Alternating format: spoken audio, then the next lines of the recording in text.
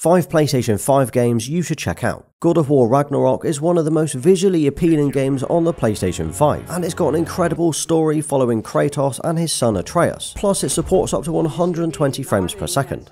The Last of Us Part 1 is a remake of the 2013 PS3 game, and although the story is the same, the graphics and gameplay have vastly improved. Plus, if you're watching the TV show right now, you might want to play this next. Spider-Man Remastered and Miles Morales are two awesome free roam games that are a lot of fun to play. You swing around New York City fighting crime, taking out the enemies and being an all-round good guy.